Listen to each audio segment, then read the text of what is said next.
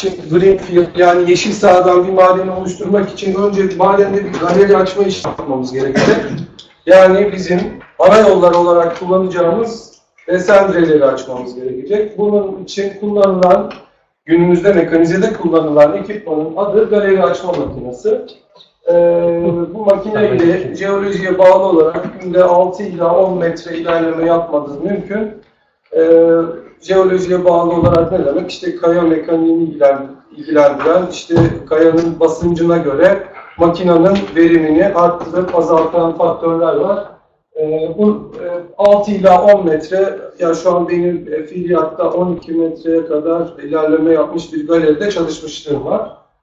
Ee, daha önceleri e, delme, e, dinamik doldurma ve patlatma yöntemi kullanılıyordu. Sert kayaçlarda, işte 100 megapascal üzerindeki kayaçlarda yine delme patlatma e, yöntemi uygulanıyor. Fakat hem e, daha az tehlikeli olması, madene daha az zarar vermesi açısından e, bu tarz bir ürün kullanıyoruz. E, kepçeyi andıran bir galeri açma makinesi. Şimdi galeri, galerimizi açtık. Tabii madencilik boyutuna döndüğümüz zaman sadece galeri açmayla bitmiyor. İşte yanan e, yollara da sürmeniz gerekiyor. İşte bazı yörelerde ayna, bazı yörelerde ayak deniyor. O mekanize sistemlerde çok ayak olarak nitelendiriliyor. Ben size biraz e, hayal gücümüzü arttırması açısından ilk önce bir animasyon izletmek istiyorum. Bu animasyon sayesinde makineleri görme şansınız olacak.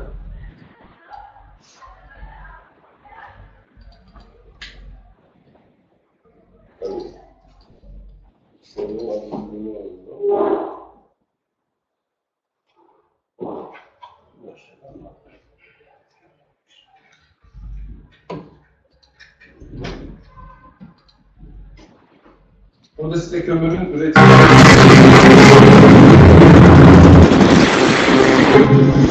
Bu herhangi bir firmanın ürünü.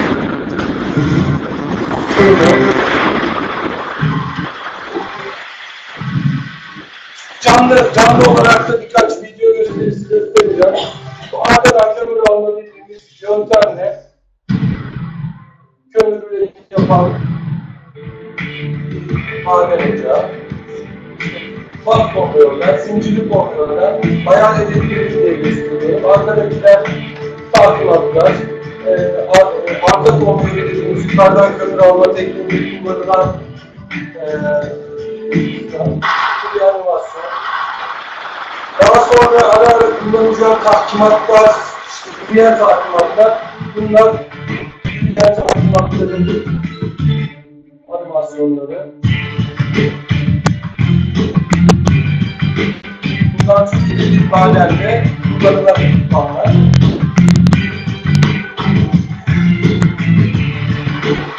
Daha az insan gücü ve daha önemli çalışma ekipmanlar. Her şeyin animasyonunda olmayan olmadığını göstermek için gerçek bir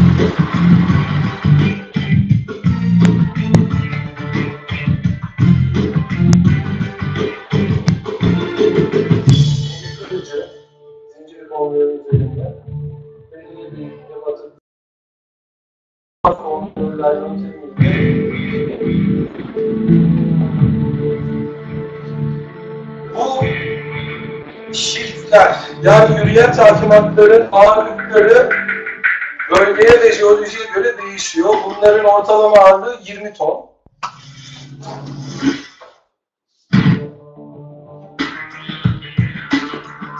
Mantık olarak bu şekilde önce kendini yukarıya sabitliyor. Yan taraftaki ekipman daralıyor ve kendini öne çekiyor.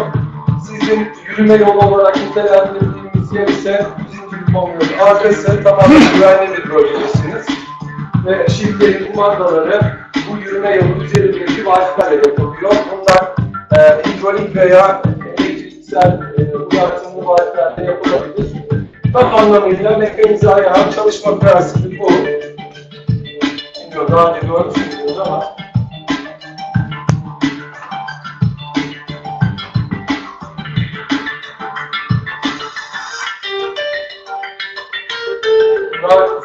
konveyörlerin üzerinde e, hareket ettikleri e, konveyör panelleri.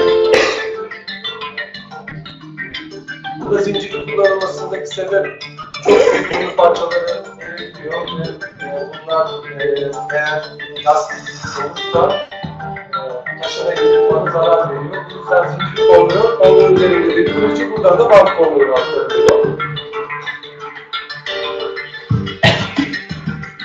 Derseniz bir de gerçeğini görelim.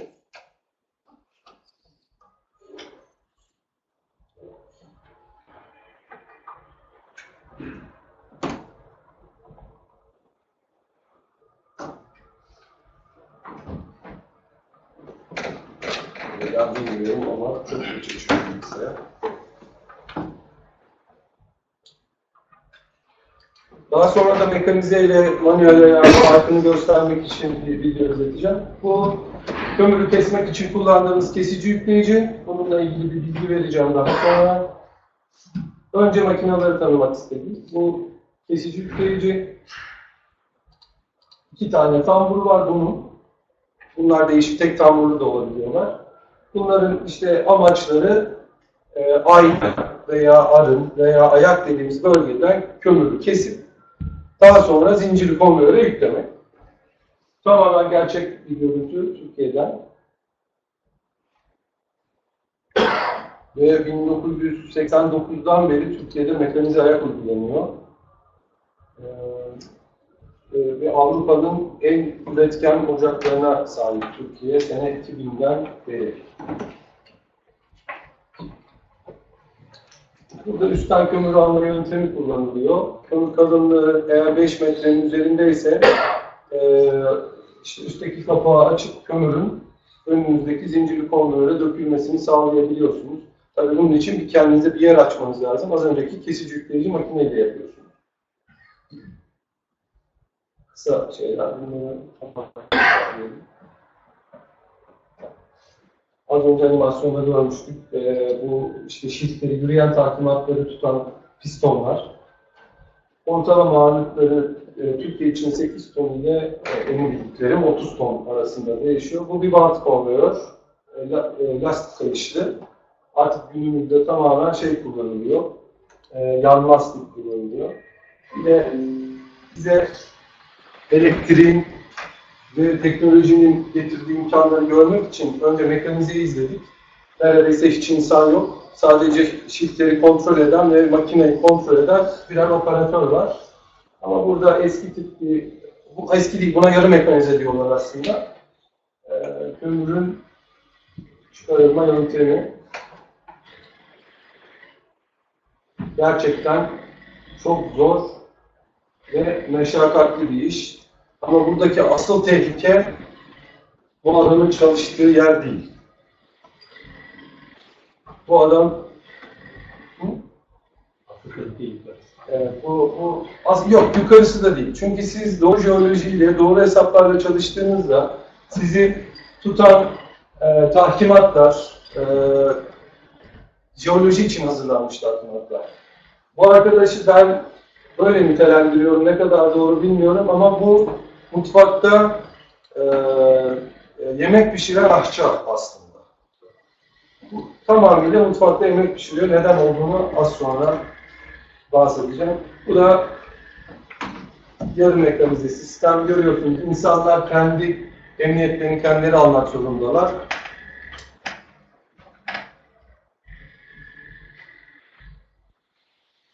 İşte yukarıdan kallak denilen parçaların düşmesini engellemek ve yukarıdan gelen basıncı e, korumak için hidrolik direkler, çelik sarmalar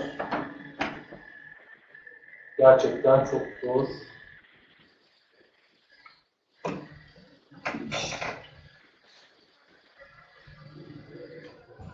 Madenciler şey der, eğer dağı oynatırsanız tutamazsınız der. O, o yüzden e, başlangıçta madenci işini iyi yapmalı. İşi yap, işini iyi yaptıktan sonra madende göçük tehlikesi neredeyse yok. Emniyet tedbirlerinin tam olarak. Tabii. Yani bir, bir mühendislik çalışması çok önemli. Madende bu maden mühendisleriyle başlıyor. Makine mühendisleri ve elektrik mühendisliğiyle devam ediyor. Burada işte yine aynı yöntem fakat şey, e, yarı mekanize çalışıyor. Manuel ayaklarda ise bunlar e, vagonlarla yapılıyor. İnsanların gittiği vagonlar kullanılıyor. Evet. Sunuma devam edelim. Burası kömürün üretildiği yer.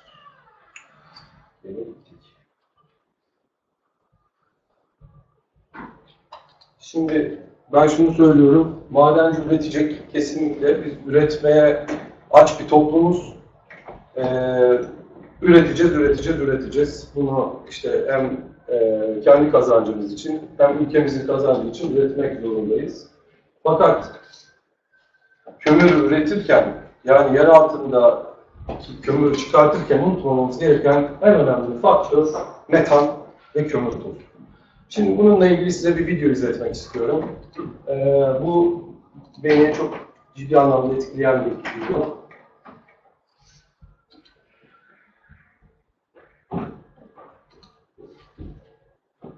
Bir eğitim için FTZO'ya gittiğimde bunu izlemiştim.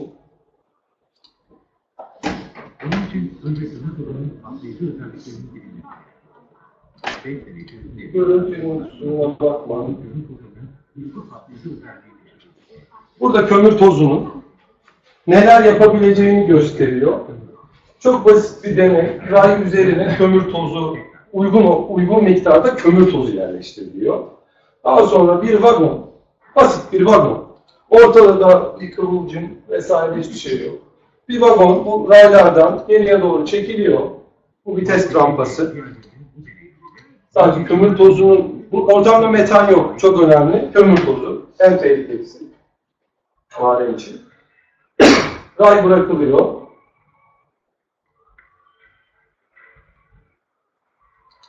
Şu an sadece şey var. Bakın sadece e, vagon ilerliyor. İlerlerken kömür tozunu uygun oranda havaya kaldırıyor. Zaten ray ve e, tekerlek arasında bir ısı var. Bu ısı sonucu kömür tozu patlıyor. Elektrik yok. Hiçbir şey yok. Sadece uygun ısı, uygun e, ürün var. Evet. O zaman biz ne yapacağız? Birinci görevimiz kömür madenlerinde olmazsa olmaz metan. Buna dikkat edeceğiz. Kömür tozuna dikkat edeceğiz. Az önce izledik. Ee, arında çalışan yani aynada çalışan arkadaş bir e, dikkatsizlik yaparsa ya da onun emniyetini düzgün alamazsak sadece bir kişiye zarar veririz. Ama biz elektrikçiler eğer madende düzgün proje yapıp düzgün ekipman kullanmazsak e, bu az önce gördüğümüz olayı bütün madende gerçekleşir. Çünkü madende her yerde kömür tozu var. Siz küçücük bir patlatma oluştursanız bile onun kömür tozunu havalandırıp patlatması işlem bile değildir. O zaman biz elektrikçiler olarak yine dikkat edeceğiz. Çalıştığımız yer kömür madeni ise ve normal koşullar varsa, normal koşullar ne demek? Patlayıcı ortamın olmadığı koşullar.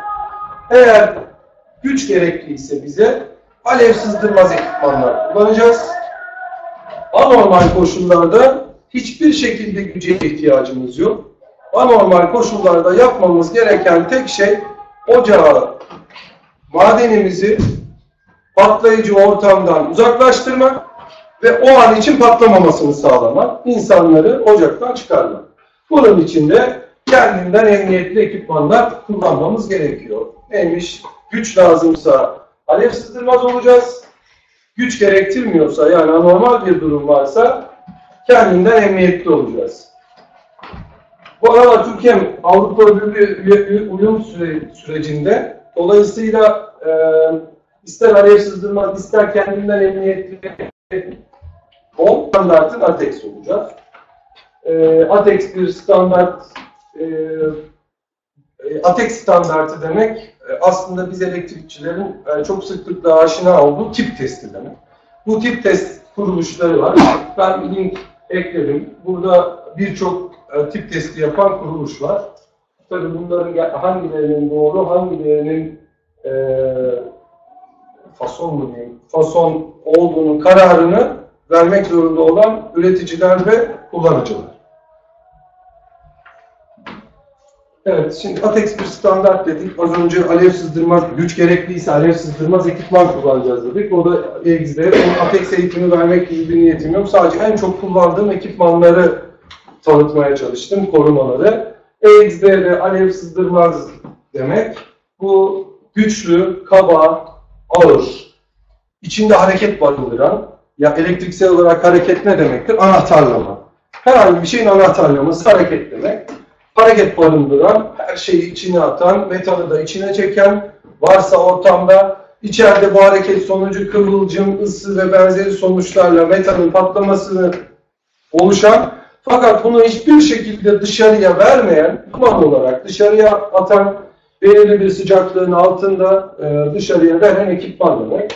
Bunlar ne olabilir? İşte transformatörler olabilir, motor yol vericileri olabilir, motorlar anahtarlamada kullandığımız komutatörler olabilir. Çok basit bir komutatör e, yer altında kullanılabilir. Eğer şeyse XD olmalı.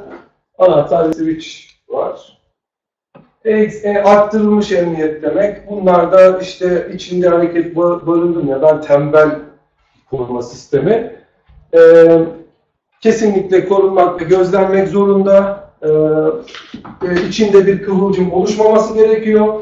Çünkü metanlı ortamda eksi E ekipmanın içinde kıvılcım oluşursa e, içinde ve dışarıda patlama olacaktır.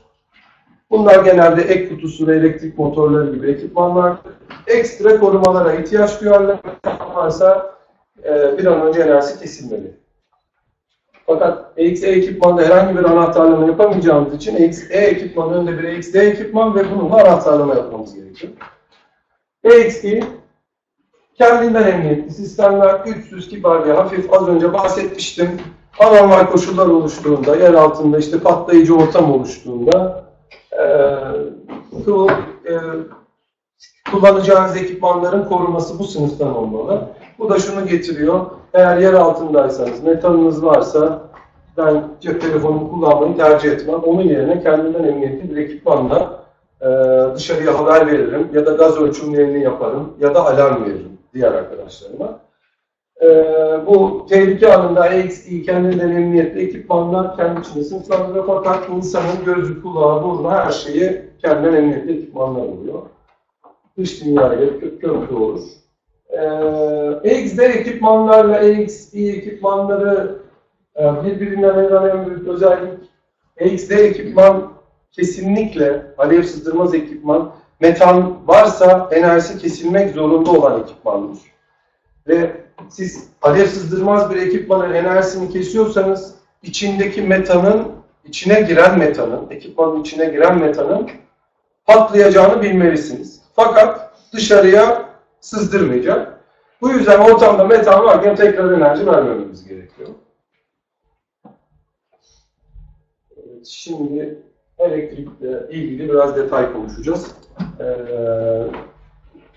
maden te e, kuvvetli yakın testleri yönetmeliğinin üçüncü satırı diyor ki bazı e, tesisler kuvvetli yakın tesisler kapsamına girmez. İşte maden testleri bunlardan biridir. Ama altında yazar der ki aksi bir hüküm yoksa kuvvetli yakın testleri geçerlidir. Ben e, Alman, İngiliz ve Çin ekipmanlarla çalıştım. Kuvvetli yakın tesislerinin kapsamadığı neredeyse e, hiçbir e, sistem yok. Yani e, bizim kuvvetli akım testleri ve topraklama yönetmeliği uygun işletme sistemlerinde birebir karşılıyor. E, şimdi e, size biraz görsel e, tanıtım istiyorum.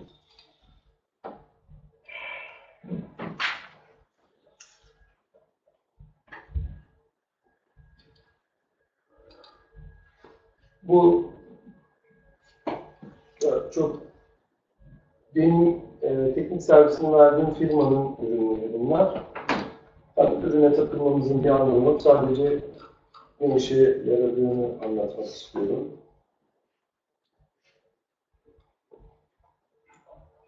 Evet, şimdi az önce bahsettiğimiz yer altında mekanize ya da manuel ya da yarı mekanize bir sistem kuracaksınız. Önce e, yer üstünde yaptığımız gibi herhangi bir fabrika tesisatında ya da herhangi bir endüstriyel tesiste yaptığımız gibi önce odaklandığı yerleri bulacağız. Yine standart gerilim düşme hesaplarımızı yapacağız. Kablolarımızı yine standart şekilde seçeceğiz. Yani işte akımımıza e, ve ortam şartlarının kablo seçeceğiz. Türkiye'de şu ana kadar MGM standartı kablolar isteniyordu fakat o da kaldırıldı. Ben yaptığım projelerde halojen free kablo tercih ediyorum. Ee, Almanlar genelde NSS türü kauçuk e, ve mekanik darbeye dayanıklı kablolar tercih ediyorlar. Ee, bir sistem kuracağız. Önce gücü yerine taşıyacağız. Belirli bir seviyenin üzerinde ise 400 volt taşıyacağız. Ee, bunun üzerinde 1100 volt, 3300 volt, 6300 volt standart olarak kullanılan gerilimler ee, Türkiye'de. Ee, sadece bir 10.000 volt kullanılıyor. Bu da Almanya'da belirli bölgelerde çok yüksek güçlü madenlerde 10 kV kullanılıyor. Yer altında dağıtım sistemi olarak. Avrupa'da e, bir dağıtım sistemi tasarlanırken İngilizler hariç genelde nötr izole kullanıyorlar. Yani yıldız noktası izole sistem kullanıyorlar. Buradaki en büyük amaç e, faz toprak kısa devrelerinde oluşacak yüksek akımları bertaraf etmek. Fakat sistemde bunu yaparken ekstra korumalar koymak zorunda kalıyorlar. Bu da nedir? İşte faz toprak kaçağında yüksek akım olmadığı için sürekli bir izolasyon kontrolü, enerjisizken ve enerji verdikten sonra da e, toprak kaçağı kontrolü yapıyorlar. Bildiğimiz standart işte e, fazın birindeki akım yüksek, nötr akımının yüksek olmasından dolayı bir toprak kaçağı koruması değil, e, faz dengesizliği ve gerilimdeki kaymayla tespit ediyorlar. E, ben de projelerimde e, nötr izole sistemleri tercih ediyorum. E, kısa devre akımları, e, faz toprak kısa devre, tek faz toprak kısa devre akımı düşük olduğu için. Bir sistem kuracağız. Önce XD ekipmanımızı seçeceğiz. Nedir? İşte e, makine mühendislerinin e, bize öngördüğü güçlerde ki motorları beslemek için gerekli olan ekipmanlar. Bu ekipmanlar için transformatör seçimimiz. Transformatörümüz XD olacak. E, bundan 3 ya da 4 yıl öncesine kadar yer üstünde izleme Türkiye'de çok aktif değildi. Ama artık neredeyse her maden ocağı kullandığı ekipmanın yer üstünden de izlenebilir olmasını istiyor ki bu bizler için çok iyi. Her türlü analizi bunun üzerinden yapabiliyoruz. Bir transformatör kurun. Bu transformatörlerde işte e, bunlar mekanize için tasarlanmış. İşte primerlerinde bir kesici oluyor. İşte 6 kV, 10 kV, 3, 3 onda 3 e, olabiliyor. Normal kuru tüp transformatör. E, bu yüzden bu, bu tarz trafolarda, kuru, e, tüp trafolarda yağ bakımı yok. E, sadece senelik e, belirgin bakımları var. İşte e, kontak, açma, kısa devre testleri, e, toprak açığa testleri gibi. Sekonderlerinde yine devre kesici barındırıyorlar. Ve devre kesiciler e, yine dağıtım sisteminize göre e, şekillendiriliyor. Transformatörlerin seçimi bu şekilde yapılıyor. Yine yer üstündeki transformatör seçimiyle hiçbir farkı yok. Yer üstü projelerinde bir transformatör nasıl seçiyorsak yer altıdaki projelerimizde transformatörleri bu şekilde seçiyoruz. Yalnız koruma sınıfı grup 1 M2 yani alev sızdırmaz oluyor. Transformatörlerimizde yine Avrupa transformatörlerinde ve Çin'de de aynı nötr, izole eğer aksi belirtmezseniz yani yıldız noktanız yok. Transformatörün primerinden transformatöre enerji vermek istiyorsanız sekonder çıkışlarına bağlı olan bütün ekipmanların ilk anahtara kadar izolasyon seviyesinin belirli bir seviyenin üzerinde olmasını şart koşuyor. Ee, bu da 1 volt için 50 ohm. Ee, bu seviyenin üzerindeyse siz transformatörün primerine enerji vere, e, primerine enerji verebiliyorsunuz. Yine sekonderi anahtarlamak için e, aynı e, korumalar var. Siz herhangi bir çıkış enerjilendirmek istiyorsanız e, çıkışınızdaki herhangi bir kablonun uygun alıcıya bağlı olması ve herhangi bir izolasyon sorununuzun olmaması gerekiyor. Bu, transformer, e, e, yeraltı transformatörlerine e, ait ekstremelik. Bunun da e, en büyük amacı e, yer altında transformatörlerle dağıtım yaptınız. İşte 500-600 metre ileriye 1.1 1100 volt gerilimi gönderdiniz. O bölgede bir çık oldu, enerji kesintisi oldu. Siz o bölgede eğer kablonuzda bir sıkıntı varsa tekrar enerji vermeyi önlemek zorundasınız. Çünkü o göçükten metan da gelmiş olabilir. Siz o göçükteki metanı patlatırsanız o metan daha sonra e, tozu kaldırıp tozu patlatıp ocakta hiç metan olmayan, e, hiçbir tehlike arz etmeyen bir bölgeye de zarar verebilirsiniz. Bu sebeple böyle bir koruma eklenmiş. Daha sonra yol vericilerimiz geliyor. Yani anahtarlama ekipmanlarımız, elektrik yollarımız, MCC'ler geliyor. Fakat bunların işte kendilerine has özellikleri var.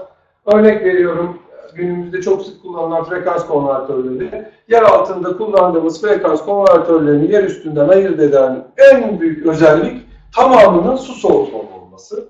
Çünkü bu yapı EXD bir koruma içerisinde. EXD hatırlarsanız neydi? Güçlü, tam kapalı, dışarıya basıncı ve ısıyı iletmeyecek. Ee, siz bir frekans konvertörünü kapalı bir kutu içine koyarsanız ısınacak. Isın, ısınmadan dolayı size arıza ve benzeri e, sorunlar getirecek. O yüzden yer altında kullandığımız frekans konvertörleri su soğutmalı. E, yer üstünde de büyük güçlüler su soğutmalı yanılmıyorsam. E, en büyük özellikleri bu. Yani bizi yer üstündeki frekans konvertörlerinden ayırt eder. Yine e, çıkışını anahtarlamak isterseniz eğer, transformatör bunun girişine kadar e, toprak kaçağı e, izolasyon gözetlemesini yapıyor. Siz enerji veriyorsunuz. Buraya kadar artık eminsiniz. Bir sıkıntınız yok. Fakat frekans konvertöründen motora giden koda ve motoru bilmiyorsunuz. Bunu da yapması gereken, bu izolasyonu kontrol etmesi gereken e, frekans konvertörü. Frekans konvertörü primer enerji geldiği anda çıkışını gözetlemeye başlar. Çıkışında eğer- eğer bir izolasyon problemi varsa çıkışına enerji verilmesini engeller. Bu yumuşak yol verici substratlar için de aynıdır. Bildiğimiz çok basit e, e, işte sigorta, kontaktör, termik tarzındaki yol vericilerde de mantık aynıdır. Yer, yer üstü ekipmanlarını, yeraltı ekipmanların, yeraltı ekipmanlarının yer üstü ekipmanlarından ayırt eden en büyük özellik çıkışının, izolasyonunun sürekli gözetlemesidir. Bu burada transformatör, alev sızdırmaz, e, yol verici alev sızdırmaz. Tamam biz sistemi çalıştıracak hale geldik. Yer, üstünden 10 kilovoltu ya da 6 kilovolt gönderdik. Bir transformatör koyduk, frekans konvertörü, yumuşak yol verici veya bir motor e, yol verici kontaktör grubu koyduk. Onunla ilgili bir resim az sonra gösteririm. Bak. Fakat şunu şunu yapmadım. Ben elektrik mühendisi olarak ekip arkadaşlarımı aldım, madenci arkadaşlarımla beraber yer altına indim. Ortalama işte iki, iki buçuk kilometre kadar yer altında e, çalışacağım bölgeye gittim. Burada transformatörün orijini koydum. Fakat metan çıktı. Metanın olduğunu nasıl anlayabilirim? Bir sensör kullanmam gerekiyor. Gaz izleme sensörü. Bu bir transformatör. Yani genelde birbirine benzeyen yapılar kuru tip. Şey,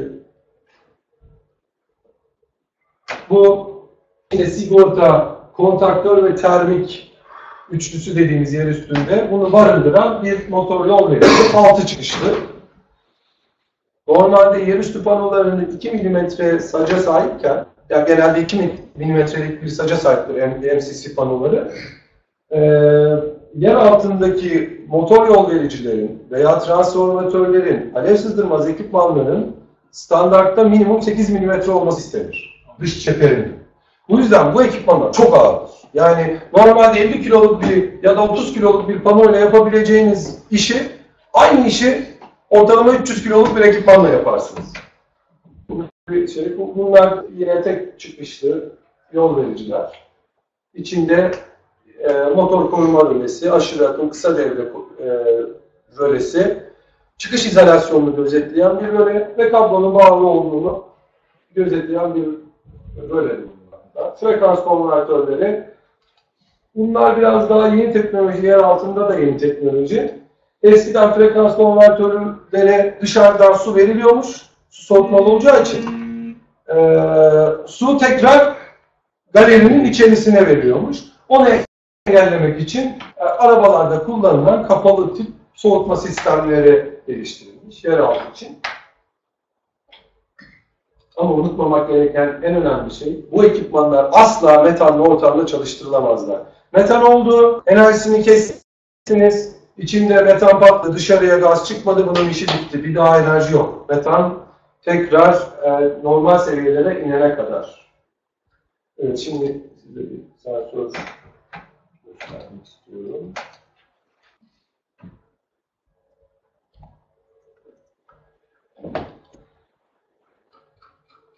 Yine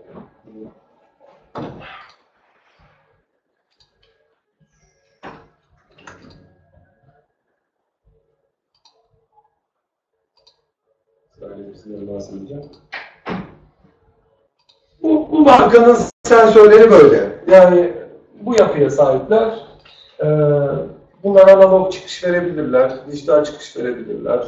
Çok önemli değil. Önemli olan e, bu sensörlerin yer altında çalışan insanların e, metan olduğu durumda ya da acil durumlarda gözü, kulağı e, ve bütün e, dış dünyayla bağlantısı oldukları.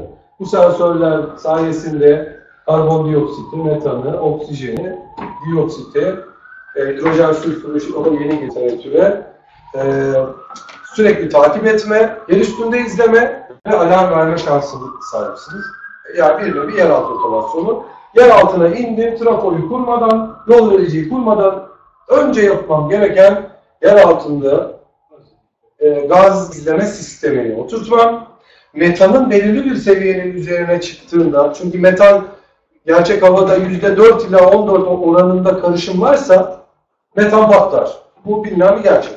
Ee, eğer ben literatürde %1, %1'in üzerinde enerjisini kesmezsem ekipmanların bu metan seviyesi %4, %14'e geldiğinde patlama için e, ortam hazırlamış olurum. O yüzden önce bu ekipmanlarımı uygun yerlere yerleştiriyorum. Zaten kanunda da, yeni kanunda da yeri var. Her temiz hava girişi ve çıkışında bunları kullanmak zorundayız. Tamam, gazımı koydum. Fakat yer altındayım. Gaz çıktı. Fakat benim haberim yok. Tamam enerjiler kesildi. Neden kesildiğini bilmiyorum. Neye ihtiyacım var? Yine ortamda metan varken kullanmam gereken haberleşme ekipmanına ihtiyacım var. Onlar da işte telsiz olabilir. Ee, bu da buradaki en önemli şey ne oldu? Gaz izleme ürünlerimiz. Telsiz, telefon ve benzeri ürünlerimizin kesinlikle grup 1 M1 olması gerekiyor. Yani kendinden emniyetli olması gerekiyor. Ben metanlı ortamda elime telsizimi alıp mandalladığımda bu acaba metanı patlatacak mı diye düşünmeyeceğim. Veya e, bu telsizi ben yürürken o panikle elimden düşürebilir. Suyun içerisine kısa devre olabilir. Bu telsizde oluşacak bir kısa devrenin metanı patlatmayacağından emin olmam gerekir. Bu yüzden de bu ürünlerin, kendinden emniyetli ürünlerin güçleri belirli bir seviyede sınırlandırılmıştır.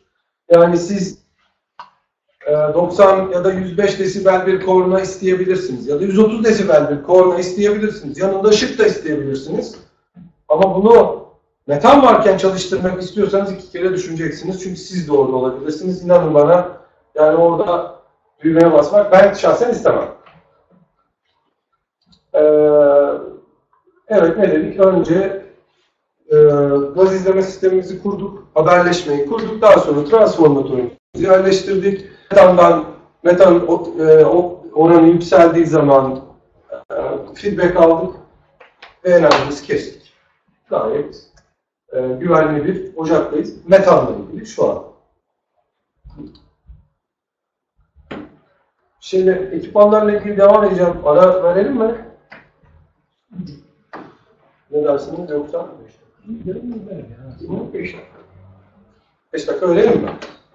Evet. Tamam.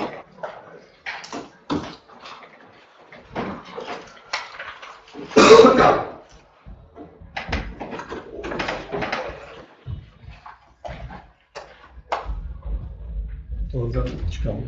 Yok tamam. Kapattın mı? Tamam. Tamam mı?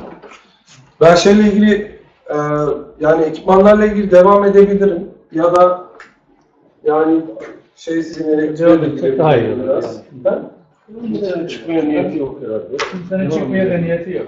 Tamam, devam edelim. Devam et. Şeyle ilgili e, yani eğitime böyle ekipmanlarla ilgili mi devam edeyim yoksa ben sizi tanıyor muyum? Evet. Rıdvan abi sen Ha, Özür dilerim ya. Bir, bir elektrik mühendisi abim var. Zonguldak'ta madenlerde çalışıyor. Çok benziyorsunuz. Bakıyorum bakıyorum. Şey Rıdvan abi. Ee, şeyle ilgili elektrik ekipmanlarıyla da devam edebilirim. Ya da isterseniz şeye de yani mekanik ekipmanlara da dönebilirim. Yani şey tarzı sizin. O zaman önce şöyle bir şey yapacağım.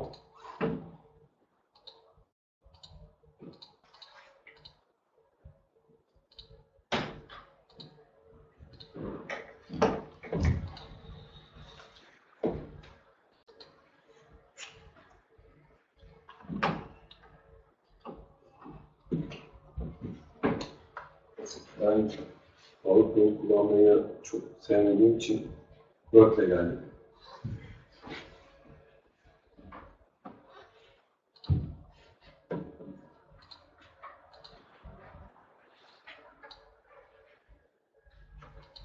Başla dediğiniz anda başlayalım. Devam edin. Devam edebiliriz. Tamam. Şimdi eee az önce şey dedik, hani bir tesis kurarken önce transformatörümüzü, yol vericimizi, motorunu bulacağız. Bu da grup 1, grup 1, kesinlikle grup 1, M2 olacak. Alev sızdırmak olacak. Eğer ortamda bir patlayıcı varsa, eee patlayıcı ortam varsa eee, bu eee bunların enerjisi kesilecek. Şimdi Avrupa'da az önce bahsettim.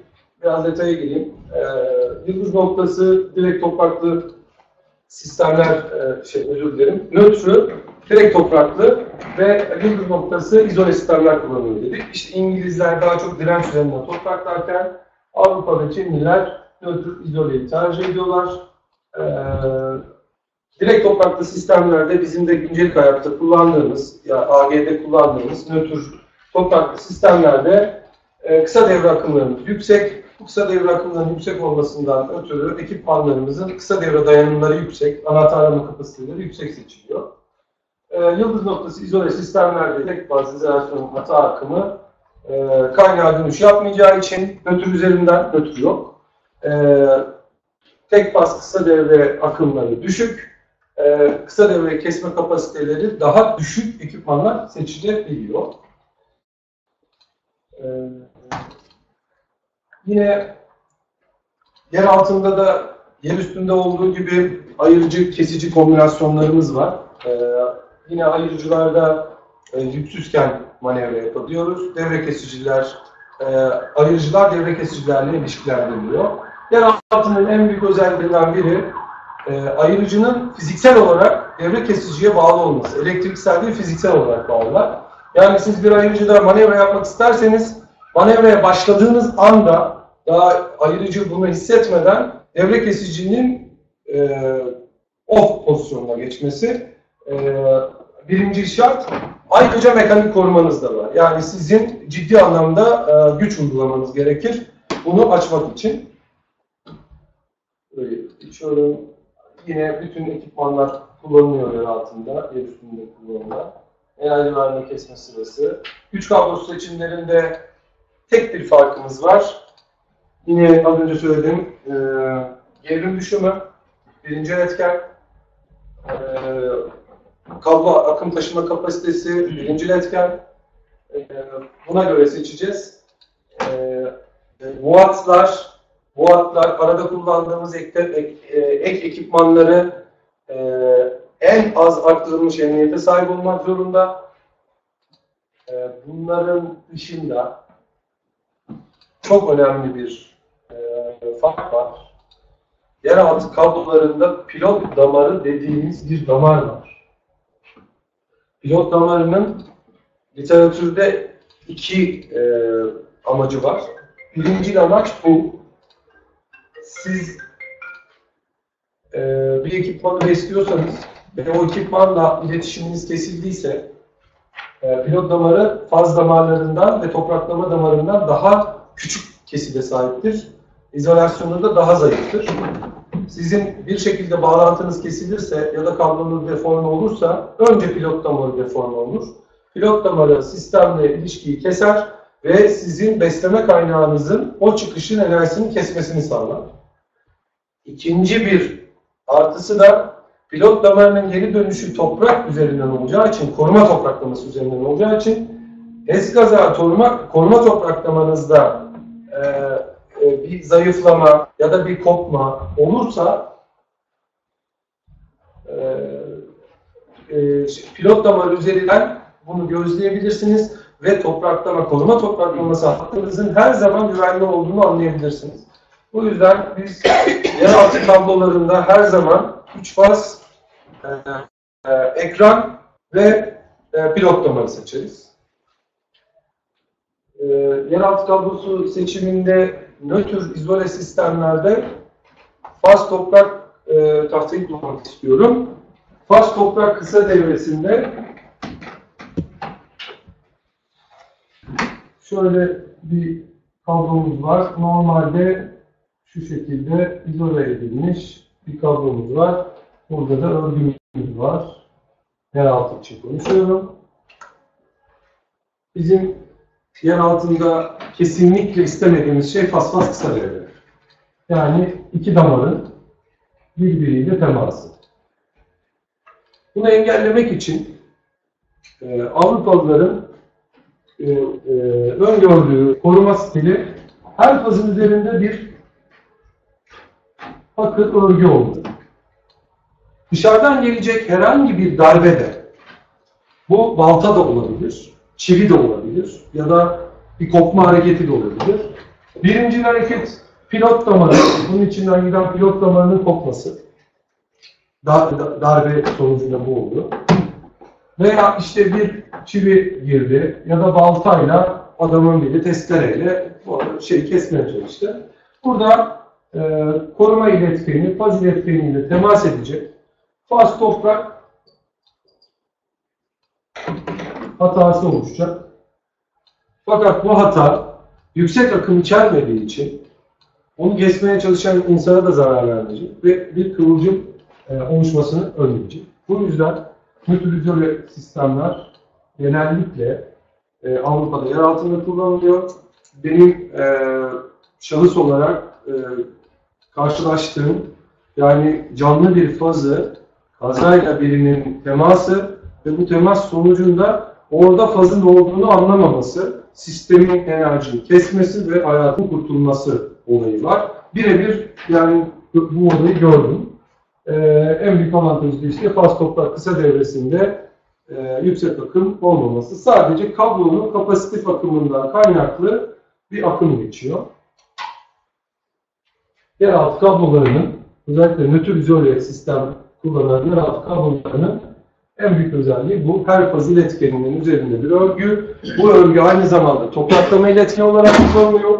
Bu topraklamanın da sağlam olduğunu e, pilotlamaları üzerinden inceleyebiliyoruz. Tabii günümüzde bunu e, anlatmak çok zor oluyor. Yani yer altında bağımsız topraklamalar isteniyor. Ama doğru yöntem nötr izole sistemlerde kablonun zırhı üzerinden e, topraklama yapmaktır. Ve enerji kabloları hazırlanırken pratikte biz her zaman pilot damarını faz damarından, faz damarında toprak damarından kısa bağlarız. Herhangi deformasyonda önce pilot kopacak, sonra faz, en son toprak kopacak. Az önce resimlerini gösterdiğim ekipmanlar vardı. Bu ekipmanlarda yer altında bizim olmazsa olmaz dediğimiz korumalarımız var.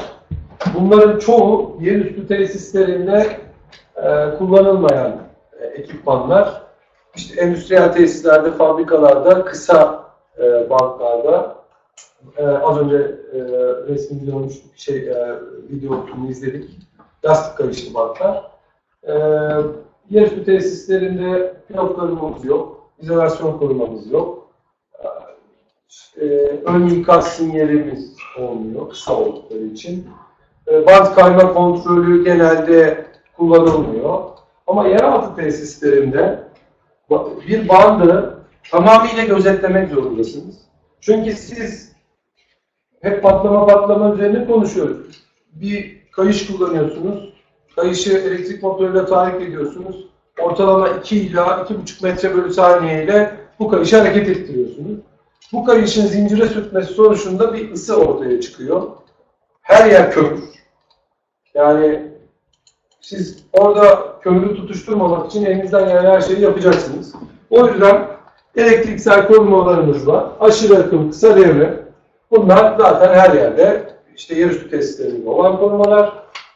Devamında pilot koruması. Az önce sebebini anlattım. Ee, hem e, toprak koruma topraklamasının ekipmana kadar ulaştığının göz, e, gözetlenmesi için hem de kabloda olası bir sıkıntıda enerji kestirmek için. Ee, izolasyon koruması, az önce söylemiştim nötr izole sistemlerde enerji vermeden önce, motoru çalıştırmadan önce e, ekipmanın izolasyonunu kontrol etmek zorundasınız. Aksi takdirde enerji verdiğinizde bir patlamaya sebebiyet verirsiniz ve bu patlamada ortamı yakabilir. Ee, su veya yağ soğutmalı sistemleri, örneğin frekans konvertörleri. dedik. Az önce işte büyük motorlarda veya büyük güçlü şanzımanların su soğutmalarında siz e, su soğutmalarının debisini ve basıncını gözetlemek zorundasınız. Çünkü e, ortamda çalışıyorsunuz, kömür tozu var, kömür tozu redüktörünüzün üzerinde su soğutmalı bir redüktörünüz var. Ortalama gücü 830 kW. Çok güçlü bir e, motor. E, ve soğutma suyu çalışmıyor. Soğutma suyunun çalışmaması bunun yüzeyinin ısınmasına, yüzeyinin ısınması da sizi işte oradaki ortamı yakmaya ya da patlatmaya gidecektir. Bu sebeple e, su veya soğutmalı ise akışkanın basınç ve debi yönünden kontrolü. Acil durdurma motoru zaten bütün tesislerde, üst tesislerinde de var. Çekme halatlı acil durdurma sistemi yer altında 20 metrede konvoy kursanız ya da 4 kilometre yekpare bir konvoy da kursanız bunlara çekme halat sistemi kurmak zorundasınız. Günümüz teknolojisi uzun bantlarda hangi çekme halatıyla neredeki sivicin çekildiğini gösterir teknolojiye sahip. Ama bu olmazsa olmazlardan biri iş emniyeti açısından. Ee, haberleşme, yine keza bu haberleşme bant kenarından yapacağınız işte 100 metrede bir yapacağınız haberleşme o an sizi veya bir arkadaşınızı acil durumda uyarmaya ve olay yerini terk etmeye yarayacaktır. Bu da e, şey e, olmazsa olmazlardan. Aşırı veya düşük bir gözetleme. Bu bantlarda genelde işte e, baş aşağı çalışan bantlarda yani eksi yönde çalışan bantlarda aşırı hız kontrolü çünkü yüke bağlı olarak hızlanabilir e, veya tam tersi bantlarda da düşük devir gözetlenir. Bunların sebebi sizin tamburunuz sıkışmış olabilir, kayışınız bir yere takılmış olabilir, üzerinde aşırı yük olabilir. Bu da kayışın dönmemesini, motor döner, tamburunuz döner, tarih tamburu. Fakat kayış dönmez. Kayış dönmeyip eğer motorunuz dönmeye devam ederse orada bir sürtünme oluşur. Bu sürtünme sonucu bant yanmasa bile, yani yanma, yanmaya, alev dayanıklı vesaire bir bant olabilir. Ortamdaki kömür tozunu e, yakacağı için bu da olmazsa olmazlardan. Pas ayırma kontrolü, bandın döktüğü noktada e, bir yığ, yığılma olmamasını gözetlemek zorundasınız. Çünkü bu bantlar üzerinde teoride olmasa da pratikte işte bazı demir parçaları, odun parçaları vesaire geçebilir ya da büyük ebatlı e, kömür ya da taş geçebilir. Bu sebeple bu döküşü tıka, tıkadığında döküşte malzeme birikmesini sağlar. E, bandın devri düşmese bile burada sürtünme oluşur. Bu sürtünme sonucunda bir tekrar yangın oluşabilir.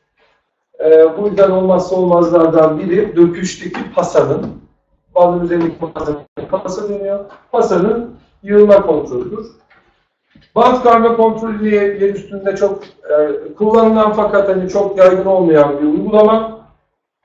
Bandın sağa veya sola e, herhangi bir metresinde sağa veya sola kayıp kaymadığını gözetlemeniz gerekir. Çünkü bant, yer altındaki bantlar, resim gösteririm, e, zincirle tavana asılmış durumdadırlar. Sizin kayışınız sağa ya da sola kayarsa e, zincirle temas ve sürtünme olacağı için e, kayışınızda zarar verebilir ama birinci problem yangındır. E, ve döktüğü bantla bağımlı çalışabilme bu e, e, işletmede gerekli. Fakat bunun koruması, pasa yığılma korumanız varsa öndeki bant durduğunda zaten yığılma olacağı için e, burada pasa yığılma koruması bunun e, koruma olarak yerini alabilir.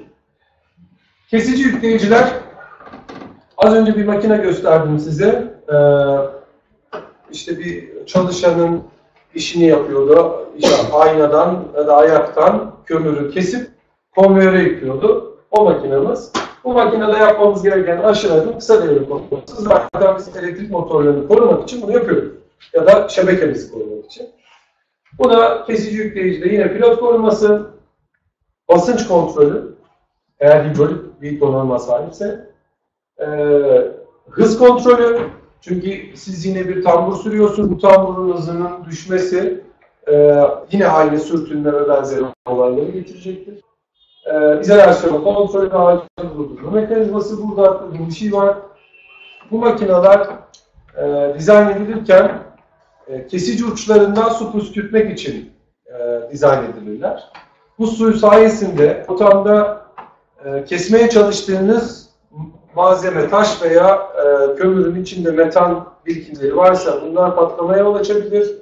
E, aynı zamanda toz, bas, tozu bastırmak için kullanılır. Bir kesme hareketi yaparsanız ortama toz kaldırırsınız.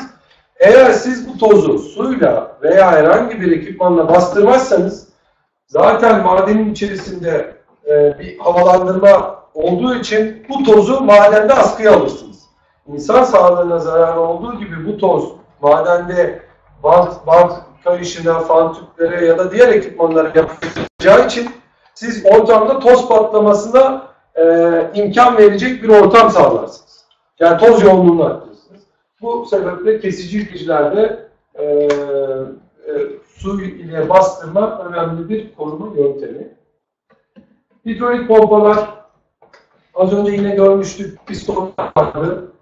İşte o yürüyen takimatlarda ya da e, manuel ayaklarda e, o çelik sarmaları tutan, askıda tutan hidrolik direkler vardı. Bunlar için yine hidrolik pompaları, pompalarında aşırı akım kısa devre. Bunlar çok yüksek basınçlı pompalar genelde. 300 bar, 400 bar basınçlı pompalar. O yüzden kesinlikle bir basınç koruma.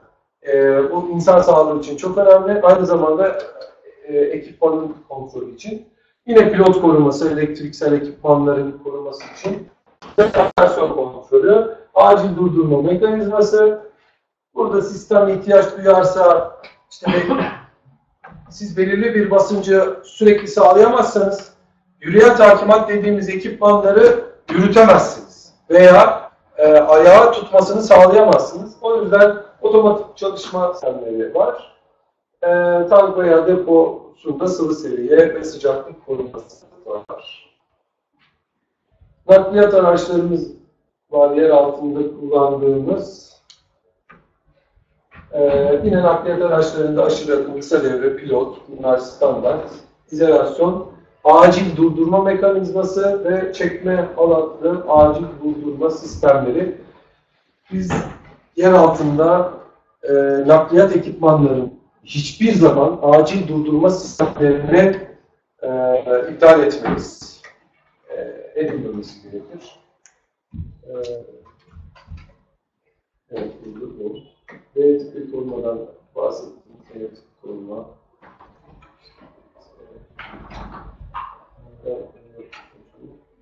Genelde şeyle çok karıştırılıyor. O yüzden bu notların altına ben bunu ekledim. Bunu herkes biliyor.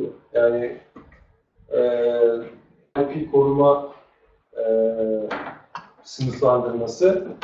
Alpinin ne olduğu, yani bu sınıflardan bahsetmiyor. Sadece alev sızdırmaz bir ekipmanın kendinden emniyetli de olabilir, XE de olabilir. Ee, bir IP koruma seviyesine sahip olması gerekmiyor. Bu çok e, yani e, pratikte çok karşılaşılan bir yanlış. Bir ekipman alevi sızdırmıyorsa içine su nasıl alabilir gibi bir mantık var. Ama e, bu e, gerçekte doğru değil. Siz alev sızdırmaz bir ekipman tamamıyla içine su alabilir. Yani çünkü alev sızdırmaz ekipmanın tasarımında yine şurada güzel değil ama bir pano tasarlıyorsunuz. Şurası işte bu et kalınlığı minimum 8 dizayna göre arttırılabiliyor. Buna bir e, buna bir kapak dizayn yapmamız gerekiyor. Bunun kapağını dizayn ederken Atex anlatan abimiz çok daha iyi anlatırlar ama ben sadece ekleyeyim. Bunun kapağını dizayn ederken bu yüzeyin, kapak yüzeyinin şu yüzeyin belir, belirli bir genişlikte olması istenir. Bunun da sebebi siz kapağı kapadınız. Sistem çalışmaya başladı. Ortamda metan oluştu. Gaz sensörünüz burada. Havanın yönü bu tarafta doğru. Galerimiz de bu. Ekipmanımızın üzerinden geçti metan. Çünkü metan genelde bir boşluktan galeriye sızar. Sizin ekipmanınızın üzerinden geçti ve ekipmanınızda bu boşluk sayesinde içine girdi metan. Şurada elektriksel ekipmanınız var ve bir kontaktöre sahipsiniz. Önemli frekans konvertörü olabilir, invertör olabilir vesaire. Yani bir kontaktör örneği veriyorum. Buradan geçti. Buraya kadar geldi. Burada yüzde bir metana ulaştı. Ama burada bu metan yüzde dört ya da yüzde altı olabilir. Bu ekipmanın yanında. Bu ekipmanı geçti. Arada 100 metre var, 200 metre var. Önemli değil. Burada yüzde birken, sizin enerji kestirme seviyesindeyken burada yüzde altı olabilir. Bununla ilgili bir örnek yaşadı TTK ve çok güzel yönettiler süreci. Ben de orada bir teknik servis hizmetinde veriyordum o anda. Ee, e, inanılmaz bir olayla karşılaşıldı. Ee, yani en alt katta boğucu seviyedeki metal, orta katlarda patlama seviyesinde, üst katlarda ise şeydi. Artık seyrelmiş, hiçbir sıkıntısı yoktu. Üst kattan enerji kestirdiklerinde bu tarz bir olay yaşandı. Burada %6 olan metal, burada kontaktörün enerjisini siz dışarıdan bile kestiniz. Bu çok önemli. Yani metallı bir ortamda değil, burada enerjiyi verdiğiniz yer üstünde. Enerjiyi buradan kestiniz. Burada bir kapasitif akımınız var. Motor çalıştırıyorsunuz. Burada bir kapasitif akımınız var. Motordan, kablodan kaynaklı. Bunu anahtarladınız. Bu anahtarda kıvılcım oluşmaması mümkün mü? Değil. Yani bu, ve bunu anahtarlamak zorundasınız. Çünkü enerji kesildi, enerji kesildi, bobinin enerjisi gitti ve anahtarlayacak mecbur. %6 metaliniz var. Siz doğru olanı yaptınız. %1'i gördünüz, enerjisini kestiniz yer üstünden. Daha kaynaktan ya da santralden önemli değil. Ama burada bir gerçek var. %6 metal. Patlamasın dedi. Anahtarladınız kıvılcım oldu.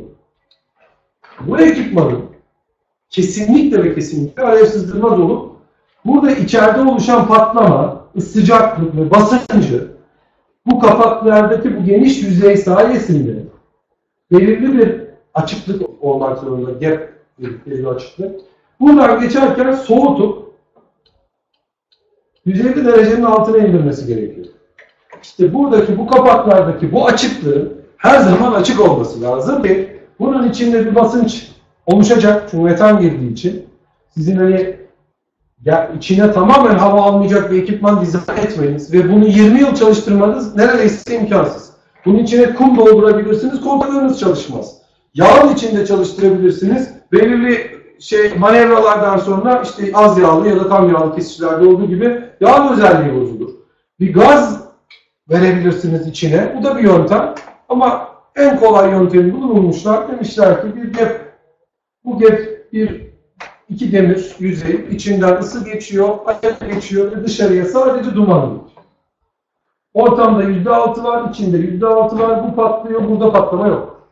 %6 enerjiyi kestiniz, her şey güvende. İnsanlara bilgi verdiniz, alarm verdiniz telsizle, megafonla veya işte az önce gösterdiğim ekipmanlarla insanlar sakince statik oluşturmadan, çünkü statik elektrik de çok ciddi bir kaynak, oluşturmadan yer altını terk etti ve ilgili maden mühendisleri, arkadaşlar, iş güvenliği e, mühendisleri e, bunu kontrol altına almak için ortamı havalandırdılar. Metanın %1'in hatta şu an e, binde 50'nin altına düştükten sonra tekrar çalışmaya girdiler. Biz de enerjiyi kontrol ettik. Her şey tamam. Metan işte e, %1'in altında biz de enerji var. Bu açıklığın, EXD açıklığının ve bu kapağına bu bu. Bu yüzden bu ekipmanlar inanılmaz ağırlar. Yani belirli bir ekipmanı belirli bir kilonun altına indiriyorsanız o zaman şunu düşünmeniz gerekir.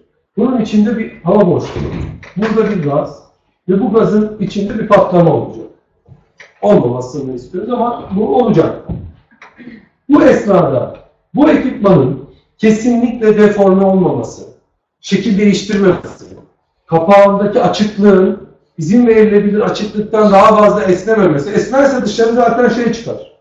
Yani e, alev çıkar, e, soğumamış enerji çıkar ve metanı patlatır. O yüzden bu testler doğru test kuruluşlarında 10 bar basınçla önce basınç testine, suyla basınç testine tabi tutulur 10 kez.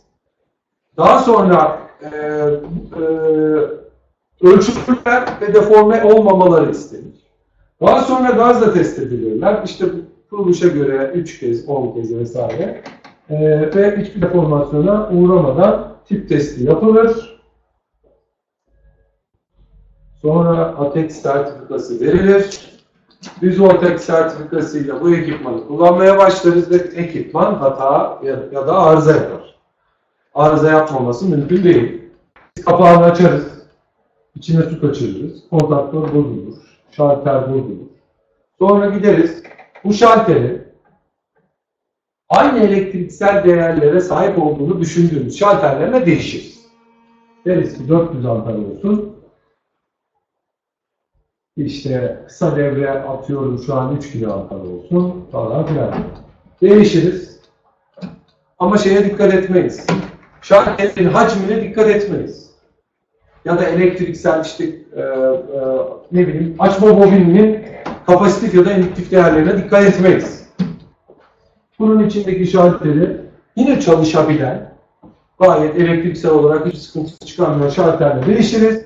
Daha sonra %6 metan olur, Allah göstermesin. %1 enerjiyi keseriz. Şalter buradaki hacmi daha büyük olabilir, daha büyük hacimde esnemeyi alamaz. Daha küçük hacimde daha çok gaz girer içine. Daha o patlama enerjisi daha fazla olur.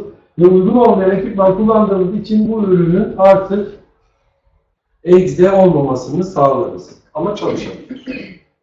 Yani bak, bakarsınız pratikte gayet güzel çalışan bir ekipmanınız olur ama eee iş kazaya geldiğinde bir kez olacak çünkü bir kez metan çıkacak ve o metanda bir kez çalışması gerekecek. Bu ekipmanlara bu kadar para vermemizin tek sebebi bir kez çalışması.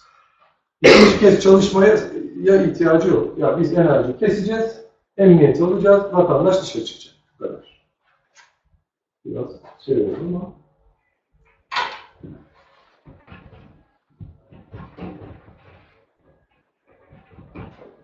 Sormak istediğiniz bir şey var mı?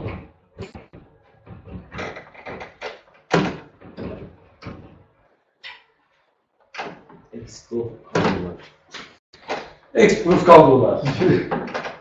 Şimdi 1945 miydi, 1901 miydi tam hatırlamıyorum. İngilizler demişler ki biz yıldız noktasını direnç üzerinden alalım. Buradaki ata hakkında 750 amperle sınırlayalım. Bu bir İngiliz trafosunun sekonderi. Şimdi İngiliz trafosunun sekonderini 750 miliamperle sınırladılar ya. Dediler ki ya demişler ki ben de bunları İngilizlerden duydum. Almışlar 2 kilometre uzakta bir galeride, şurası bir galeri düşün, çizimim çok kötü kusura bakmayın. Galeride bir noktada devre kesici istasyonu beslemiş. beslemiş. Şurada devre kesicimiz var. Şeyde hiçbir sıkıntı yok. Gayet güzel. İşte aşırı kısa devre, devre, tüm konular var. Ondan sonra demişler ki, ya bizim hata hakkımız 750, burası göçtü. Yani galeride göçük olabilir. Yani hani şey burası göçtü. Kablomuz şey altında kaldı.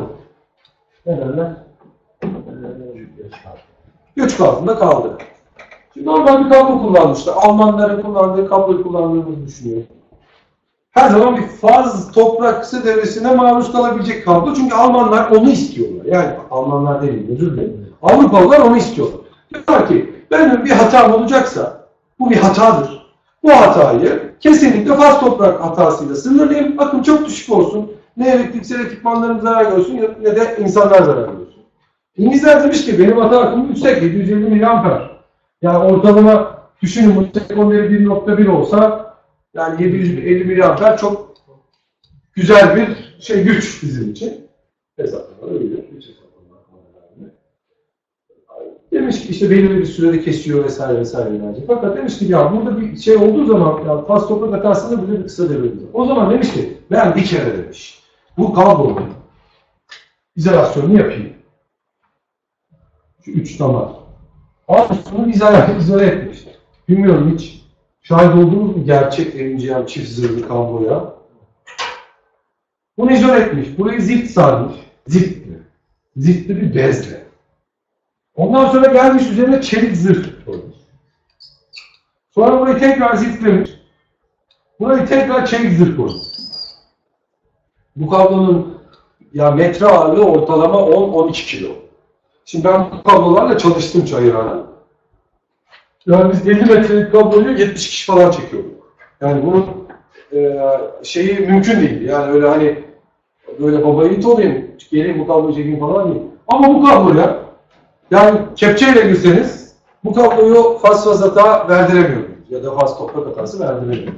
Şimdi böyle bir standart belirlemiş. Demiş ki MGM standartı belirleyeyim ben. MGM standartının işte izolasyonu tanımlamış. İşte normal atıyorum iki katı test gerilimi varken MGM'de üç buçuk katıyla test etmiş. Alev yürümez demiş. Alev yürümezin anlamı neydi? İşte burada alev varsa, açık alev varsa alevin burada kalması. Alev yürümez. Yoksa bir kauçuğun yanmaması silikon değilse mümkün değil gibi. Ya ben görmüşüm yüzünden. Demiş ki alev yürümez olsun kablo. İşte esnek olsun. Bunu bir standarta bindirmiş. MGM demiş. Ama ne için? Bu sistem için. İngiliz sistemi. Siz eğer yer altında nötr üzerinde kullanıyorsanız bu kabloyu kullanmanızın hiçbir esprisi yok. Üstüne üstü gelmiş. Neden? Diyor ki nötr izole ise benim her fazımın etrafında bir e, bölge olacak diyor. Ve her hatta bende az toprak olacak. Ben o enerjiyi keseceğim diyor. Şimdi ama günümüzde yani yaklaşık geçen seneye kadar galiba bu bizim maden kablomuzda vardı. MGM kablo vardı ama şş, yani son şeyde bu kaldırıldı. O fakat hala istiyorlar. Evet öyle bir durum var. Ama ben size şöyle bir şey söyleyeyim. Ben Türkiye'de Almanlar tarafından kurulmuş bir madende çalıştım.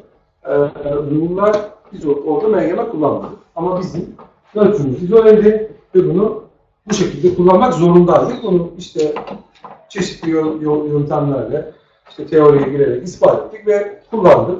Hatta bunu e, mesela Amerika'da da yok VGM standartı. Üstüne üstlük 10 kV kullanıyorlar. İnanılmaz ince ve hani bizim yer üstünde kullandığımız kablolardan daha ince kablolar kullanıyorlar. Hafif yani. Hafif. Tabii evet hafif. Ee, şey tabii gerilimi yükseltiyor. işte kapasitif akımları falan biraz sıkıntılı ama kullanıyorlar.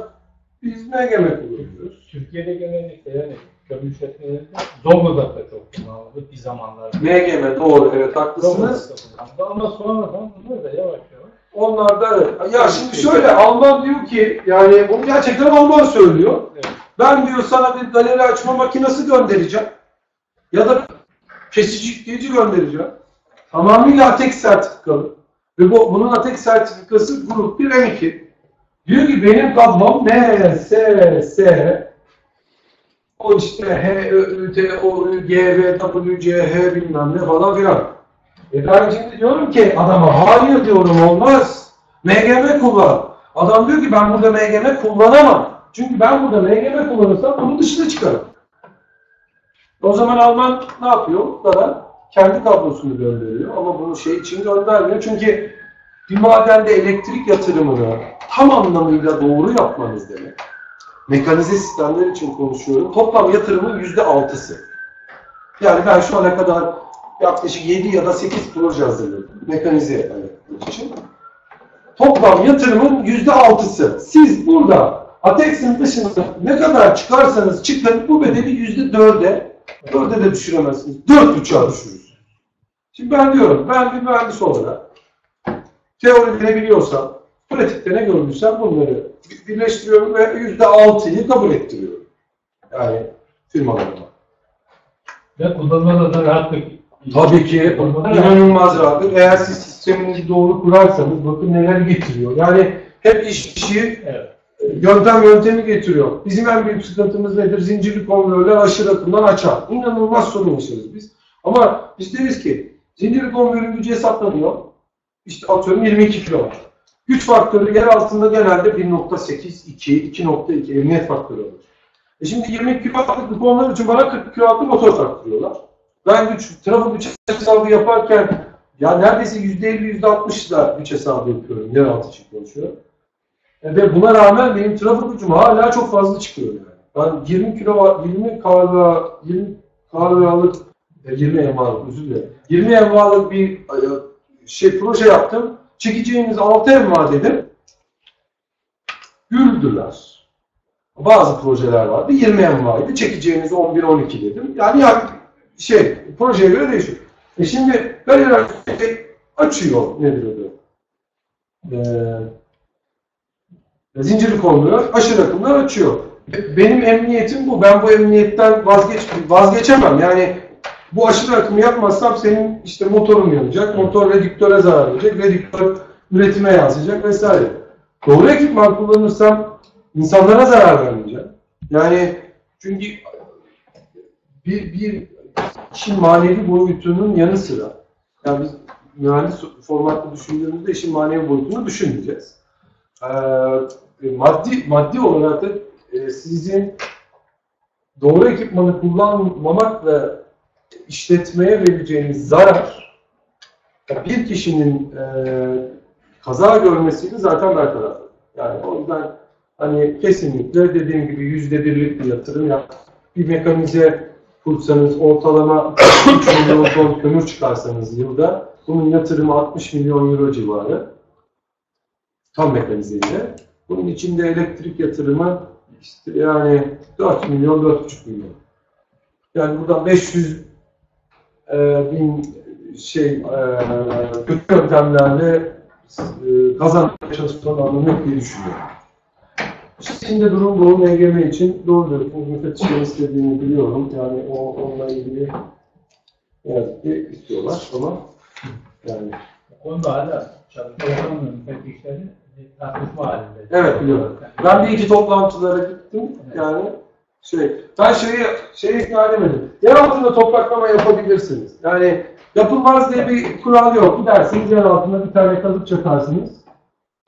İşte bu Evet, Avrupa hesabını da yaparsınız belki Evet. orada yani. Yani Yapmak bizim, gerekiyor. ama şu, şu çok önemli bence sizin ekipmanınızın kesinlikle pilot koruması olacak ve motor eğer e, nötrünüz izole değilse kesinlikle yer altında topraklama yapacaksınız. Ama nötrünüz izole ise sizin kesinlikle yapmanız gereken pilot korumasına sahip olan ekipmanlarla sahip. Yani bak bunun e, şeyi yok. Yani e, ne, bu tartışmaya açık değil. Öyle söyleyeyim. Yani bunun şeyi yok yani. Durum bu. Bu son zamanlarda evet çok şey oldu. Personel takip devreye girdi. İşte Erdoğan sonra.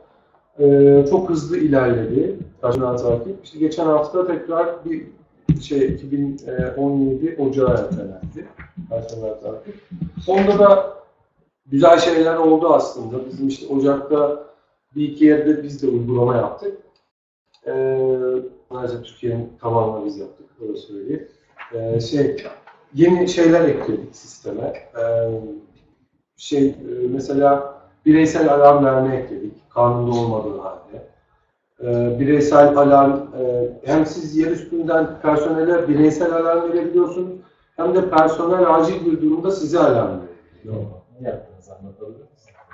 Şey Biz de yaptık da biz basit bir şey yaptık. Ha, söyle. Şöyle, e, Siz hangi ben e, Sivas'tan geldim. Sivas'ta? Kangal'da. Benim e, firmalarım var. Evet. Evet. Madencilik, e, organik madencilik, e, madencilik firmalarım var. Allah yardımcı. Şöyle, onların sorumluluklarını yaptık. E, yer altına bulunuyoruz. Anlattığınız şeylerin hepsini yaşıyoruz. Gayet değişik var. Çalışma Bakanlığı müfettişi gelmişti. Elazığ'a. Elazığ'da bölgesindeki madenler, Krom var orada. kromlar. Ben de ziyaret ettim. Evet. E, ondan sonra benim ismimi etrafa vermeye başladı bu sefer. Biz çok basit bir şey yaptık. Şöyle, bir maden mühendisi arkadaşlar, başkanına e, içeriye alarm koyduk. Dışarıya alarm koyduk. Torna. Evet. Ee, aşağıda diyelim 10 yerde şey var, butonlar var. Hı hı hı. Bu butona vurduğu zaman biz yukarıdan biliyoruz hangi butonun vurduğunu. Tamam. Hı. Ona bir ışıklı sistem getirdik. Yani tamamen manuel bir şekilde. Çünkü yapacağımız diğer şeyler yer altında e, kalifiye işçiler olmadığı için Evet. Kullanamıyorlar. Hı hı. Tamamen bu şekilde bir şey yaptık ve bu tutuldu.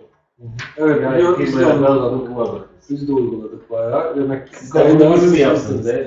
Biz de şöyle, biz onu ekstra yaptık. Nasıl? Biz de eee çizeyim. Biraz şeye gidiyor ama madenciliğe gidiyor. Biliyorsunuz işte ben ben kömürcüyüm öyle söyleyeyim. Yani ben met, metalde de çalıştım, Sivas'ta da çalıştım, Divriğinde. Nerede? E, cin- e, bir firmada e, 2004'te çalıştım. Cürek'te. Evet. E, Zonguldak'ta da çok yerlerde çalıştım. Edirne'de de çalıştım çok şükür. Ve bir, bir maden, basit bir maden çiziyorum. Yani bu kuyu tipi de olabilir ya da desenli tipi de olabilir. Bir madende beklenen nedir?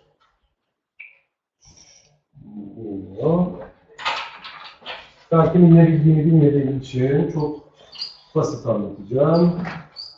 Şöyle bir maden böyle diyebiliriz. Ne var? Burada bir tane aspiratörümüz var. Emici, vantilatör, aspiratör. neyse. Var, var. var. Fan değil. Emici fan. Bunun görevi şurada, şurada kapı dediğimiz işte bildiğimiz mekanik kapı var. Havanın buradan girmesini engeller.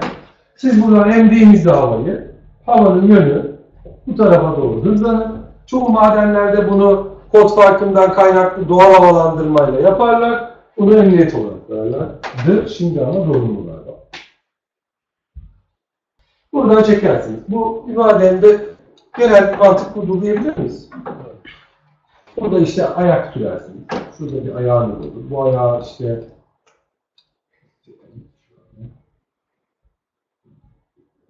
bu bir metalize sistem. Şöyle. Hava gelir. Burada bir kapı koyarsınız. Bu sefer hava buradan dolanır. Şöyle. Mantığımız bu. Anlıyor musun? Biz ne yaptık? Bir tane kablo geliştirdik. Bu kabloda her 40 metreye bir tane şey koyduk. Şu anda 40 metre. Personel takip ediyor. Ben şey e, madencilerle yani çok işli dışlı olduğum için yani normalde madende inanılmaz bir disiplin olmak zorunda. Yani madenin o askerlikten daha disiplinli olmak zorunda. Maden çünkü asla madende tek başına insan çalıştırılmaz. Hep iki kişi gitmesi lazım. Yani bu, bunlar hep biz işe girerken bize öğretilir. Derler ki bir yere gideceksen iki kişi gideceksin. Acil kurtarma görevi varsa üç kişi gidersin. Birine zarar gelirse iki, ekip geri döner vesaire vesaire. Böyle kuralları var. Şimdi biz böyle bir kablo tasarlattık. Bu kabloların her 40 metrede bir alıcı vericisi var. Keşke gitse bilmiyorum. Yani e, boyut olarak şu boyutta, şu boyutta diyebilirim. Bundan biraz daha küçük. Bir e, alıcı verici ne var? Bataryayla çalışıyor. Beline takıyor işte vatandaş. Bütün ocağı bu kabloyu çekti. Siz bu kablonun civarındaysanız eğer, sizin alıcınız o kablodaki iki vericiyle minimum tercihen üç vericiyle iletişim kuruyor. İşte sinyalin yansıyıp geri dönmesi mantığıyla aradaki mesafeyi ve diyor ki bu adam bu noktada. Arteris, metre hassasiyet. Şimdi hassasiyet neden daha fazla değil? Atex sınırlıyor. Diyor ki Atex. Senin diyor kullanabileceğin güç diyor 170 miliamper 12 volt. Şimdi ben bakıyorum bunun gücünü arttıracağım. Artı eksi 10 metre işte şunun e, kapsam alanı 60 metre, e, 90 metre. Bir tane tegi 3 tanesi algılasın diyor. Bunu 5 tekli algılatsam o zaman lak diye söyleyecek işte. Aa işte şurada diyor. Ama ben gücü, gücüm yetmiyor benim. Çünkü belirli bir gücün üzerine çıktım. Metan çıktı. Adamı ben algılayacağım. Adamı. Ama algılamak için bir enerji saçacağım. Enerji saçtığımdan metanı patlatacağım bu sefer. O yüzden böyle bir tüple adamın yerini belirliyoruz. Adamın üzerinde işte ışıklı, sesli şey var. Oradan ışıklı ses veriyor. Adam isterse buton var. Butona basılı tuttuğu zaman da yer üstüne şey veriyor. Bu hani Ocakta 10, 10 bölgeye daha sonra onu da ekledik. Biz hani bazı yerlerde istendi buton da koyun yani. Ama bize her adamın beline koyun butonu öyle söyleyeyim. Yani başta öyleydi sonra da sabit yerlere, ayak başlarına, işte e, belirli galeri girişlerine buton ekleyerek el üstünde alan verdik. Bir de biz buna ek olarak şey dedik firmaya. Madem böyle bir şey yapıyorsun, bana da bu kabloyu çektiriyorsun. Bütün galeriyi de, bütün ocağı da gezmek zorunda. Oraya bir gel 40 metrede bir, bir de sıcaklık hizmet bize. Bu da çok büyük bir avantaj sağladı. Şimdi biliyorsunuz son e, kanunda sıcaklık sensörleri zorunlu oldu. Siz şimdi böyle bir personel takip için böyle bir kablo çekerseniz ocakta şöyle bir şeyiniz oluyor. Ya bizim ocaklarımızda yani bizim sistemi taşıyan ocaklarda şöyle çiziyorum ya basit. Şöyle bir çizim oluyor. Burada sıcaklıklar yazıyor. Her 40 metre siz bir değer giriyorsunuz. 10 derecenin altında, 40 de, 10 derecenin altındaysa mavi ol. 40 derecenin üstündeyse kırmızı ol, alarm ver. 10 ile 40 arasındaysa renk verme. Açıyorsunuz ekranınızı. Bütün ocağınızın o anki e, e, bir dakikada bir veri aktarıyor sıcaklık için. Bir dakikalık verisini görüyorsunuz. Yani burada işte şu bölgede çünkü biliyorsunuz ocağın her yerinde her an adam olması mümkün değil. Yani ben size şöyle söyleyeyim. Tezgahtar'ın yer altındaki Zonguldak'ta bir ocağındaki e, açıklığı 45 kilometre. 45 kilometre açıklığı var. Siz galiba TTK'yı evet, evet, evet. 45 kilometre 45 kilometrenin her yerinde personel olması mümkün değil. E o zaman bu tarz bir sistemle sizin nerede sıcaklık artışı varsa oraya anında müdahale şansınız var. E diyorum ki en büyük etken bunların sürekli çalışma zorunluluğu. Yani metan varken de bu sistemin enerjisini kesemezsiniz. Enerjisini kesiyorsunuz ama batarya üzerinden belirli bir enerjiyle çalışmaya devam ediyor. Bu şey kısmetleri kabloyla Evet. kabloyla birleşik mi? Bütün değişik. Evet. Şeyde terlikler de ısı ısı sen. Isır, bu şey ya bizim şey var mı ya? Katalog istedim. Şeyde, ben de resmi var mı? Var mı galiba?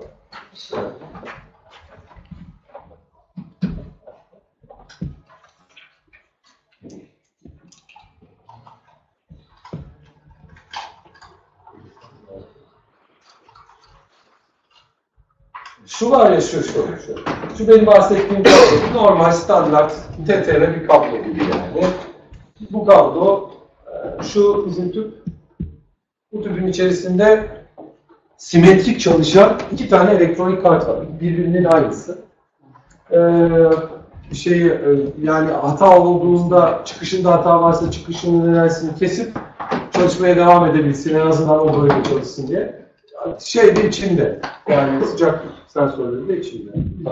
Sistem. Ve bu, bu sistem üzerine şimdi yeni bir şey daha geliştirdik. O da gelecek. Bir tane kablosuz e, yine o boyutta bir ekipmanımız var. Siz oraya butonu direkt bağlıyorsunuz ve o kablosuz ekipmanı istediğiniz yere götürebilirsiniz. bu kablonun civarındaki her yere direkt koyabilirsiniz.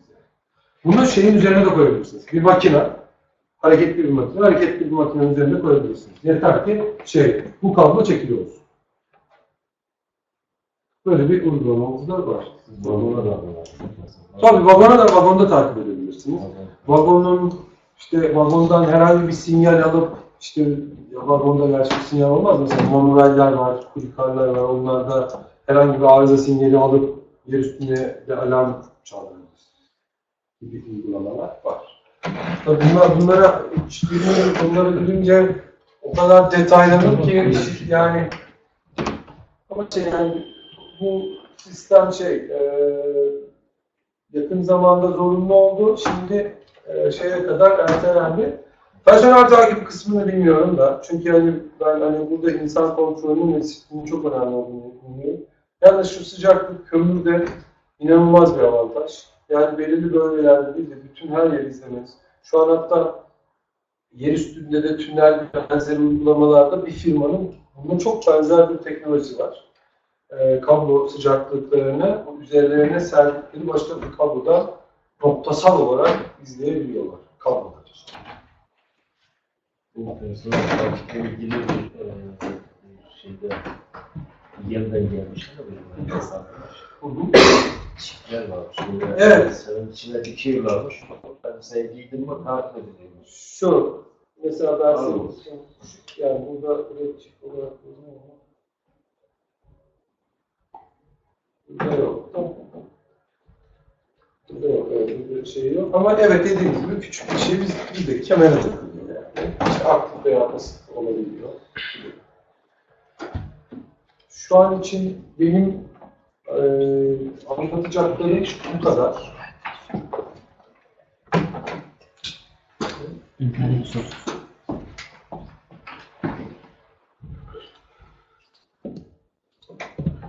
Ee, bir soru gelmiş. EXI neden 42 volt demiş bir yanlış anlama oldu herhalde. EXI sadece 42 volt değil. Yani 42 volt ve onun altındaki gerilimler EXI yani kendinden emniyetli değil. Özel e, belirli bir gücün altında olmak zorunda ve özel koruma e, barındırmak zorunda. Ben buna şöyle bir örnek veriyorum. Araba aküsü diyorum. O biraz büyük böyle ebatsal olarak. 9 volt bir pil varsayın. Bu bildiğimiz kumanda pilleri. 9 volt bir pilin artısı ile eksisini bir süre birleştirirsek ne olur? Ya oradan çıkan kıvılcımla patlatırız. O yüzden XI koruma 42 volt ve altı olmak zorunda olduğu gibi belirli bir enerji seviyesinin de altında olmak zorunda. Şu an hani o enerji seviyesini söyleyecek durumda değilim, at, atımda değil ama e, metanın patlatma seviyesinin altında olmak zorunda. Ve iki hataya karşı da korunmak zorunda. Yani işte birinci kısa devre, düşme, suya girme ve benzeri hatalara karşı da korunmak zorunda. Sensörler piyasadaki sensörler, bu dedik bir firmanın ürünü, analog haberleşebilir. İşte 420, e, 0, 420 miliamper, 020 miliamper, 010 volt, e, 0.4, e, 0,4-2 e, voltla haberleşebileceği gibi dijital de haberleşebilirler. Bu tamamen üreticinin e, şey tasarımına bağlı. Bu sensörler yaklaşık 5 sene önce sadece analog haberleşiyordu. Şu an sadece hava- ha- analog haberleşiyordu. Şu an eee hem analog haberleşiyor, 4.20.0.10 seçeneği var, 5.15 Hz seçeneği var. Aynı zamanda da RS-485 protokolü ile haberleşiyor. Metal birde kesilir dediğiniz bir buçuk değil mi? Ee, şöyle, şu, efendim? Ben e, şöyle, biz uygulamalarımızda mesela e, yüzde, biri kullanıyoruz ama literatürdeki şu ankini bilmiyorum. Yüzde bir buçuk. Efendim? Yüzde bir üzerinde patlama yapılıyor. Bir buçuk Evet. daha. Bir buçuk bir. Tamam, literatürde bir buçuk olabilir. Ama ben yani şu an gaz izleme sistemi yaklaşık Türkiye'de 30-35 maden ocağına gaz izleme sistemi kurdum. Tamamında yüzde bire kadar. Ee, başka yok.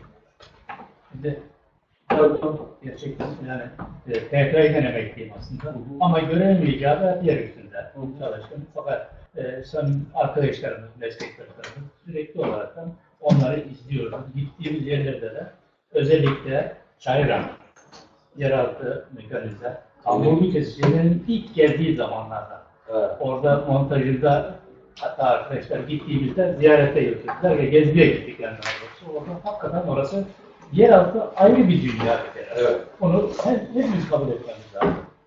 Ee, en son işte e, Soma'da yine e, mekanize sistem kuruluyor. Orada da aynı şekilde.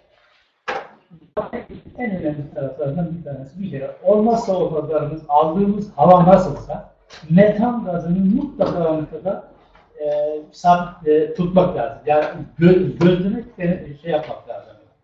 E, bir, bu bir. İkincisi madenciliğin yine önemli beyinlerinden bir tanesi haberleşme sistemi ki Evet. haberleşmeyi içeriden dışarıdan zaten şimdi artık yani haberleşmede de öyle modernleştik ki yani sizi nerede olduğunuza kadar Evet. bilebiliyorlar Evet, yani. evet. Bu şey yok yani. İkinci, bir üçüncü şey ise emniyet tedbirleri. Çok önemli olan. Evet. Emniyet tedbirleri. Ama işte bizim en büyük noksanlarımızdan bir tanesi. Bana göre Evet. e, emniyet tedbirleri her şeyiyle yazılıyor, çiziliyor, ediyor ama maalesef bunu e, uygulama şansları e, bir açık e, bizim teknik ekiplerimiz için söylüyorum. Zor oluyor. Çünkü bağımlı olarak çalıştıkları için yukarılara. E, bir de personel izleme diyoruz tabii. Personel izlemeyi artık bugün nerede çalışıyorsa siz zaten dışarıda görüyorsunuz izlemelerinde. Bu hususlara dikkat ederek yapılırsa ayrıca bir de standartlara uyum mecburiyeti var ki onu da yaparsak diyorum ben Yani karı yüzde e, binde beş oluyor işte. Evet. Yani, yani standart öyle. işini çıkartıp maliyet olarak. Emniyet tedbirleri, emniyet, güvenlik e, açısından mutlaka ve mutlaka bunların dikkat edilirse zannediyorum kazalar Evet, kazaların ben de bir milyonda bire düşeceği kanısındayım.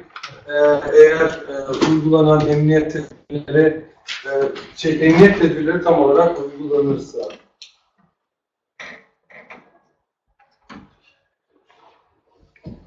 Şey sorulmuş, konveyör sisteminde halatla birlikte acil stop butonları var. Bunlar kaç metre arayla konmalı?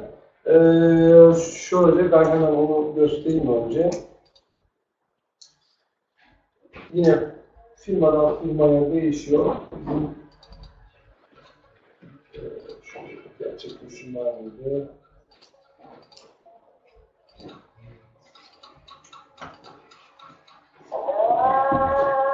O şu bu, bu, bu firmanınki bu megafon artı e, halat stop olarak geçiyor.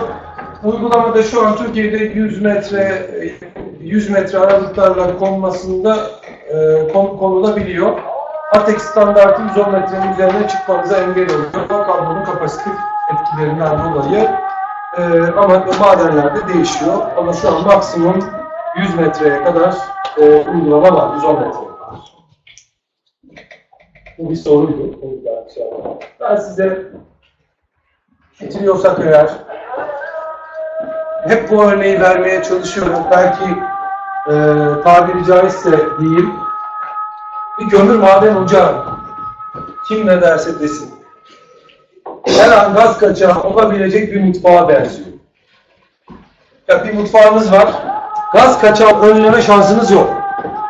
Bu bir maden ocağı. İçeride de aşçılarınız var, yemek yapıyor. Gaz kaçağını fark ettiğiniz anda ne yapmanız gerektiğini düşünün. Mutfakta. Gaz kaçtı. Gidip bir düğmeye basar mısınız? Yani ne bileyim, ışığı yakar mısınız? Doğal, e, gaz kokusu alırsanız. Ya da ışık yanıyorsa söndürür müsünüz? Yapılacak birinci iş nedir? Kapıyı, camı açıp ortamı havalandırmak. Birinci kural bu. İkinci kural, e, evler için konuşuyorum. Evlerde tabii bizim X-Proof özellikle ekipmanlarımız yok. Eğer olsaydı ısı üretebilecek kaynakların enerjisini direkt keser. Değil mi? Ya ortamda örnek veriyorum taşınabilir bir e, ısı kaynağı varsa en akıllıca o gaz kaçağı olan ortamdan onu dışarı çıkarmaktır dikkatlice. Maden ocağı da böyle. Gaz kaçağını önlemek mümkün olmayabilir. Üretim yapıyorsunuz, deliyorsunuz, patlatıyorsunuz ve benzeri. Fakat olduğu durumlar için önlem almak elimizde. Ve bu önlemleri, bu önlemleri biz alırsak eee herhangi bir sorun olmayacaktır. İşte standartları uyacağız, emniyet tedbirlerine. O yüzden ben diyorum ki evde, mutfakta gaz kaçağı olduğunda ne yapılacaksa madende gaz kaçağı olduğunda da yani o patlama ortamı olduğunda da aynı şekilde davranmalıyız. Öncelikle en güvenli şekilde ahçıları dışarı çıkarmalıyız. Çok teşekkür ediyorum. Geçmiş olsun diyorum. Az bir maden hemşehrime. Çok sağ olun. Beni.